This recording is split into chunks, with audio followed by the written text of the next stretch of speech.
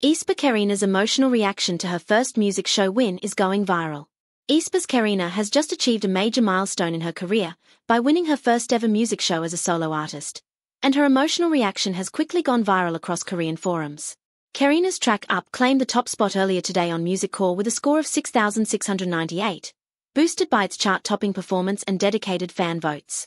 Although Karina wasn't present at the show due to Aespa's busy preparations for their upcoming Whiplash comeback, ITZY's Ryujin broke the exciting news to her. After hearing about her win, Karina immediately took to Bubble to express her gratitude to fans.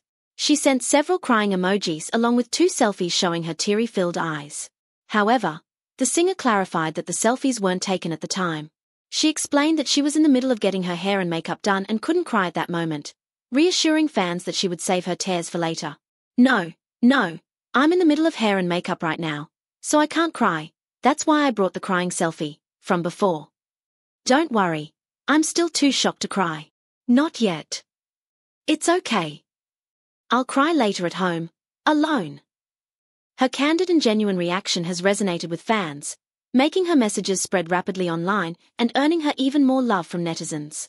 Saved a crying selfie I took earlier. Oh, congrats, congrats. Jimin is seriously hilarious. Congratulations to Karina on her first win.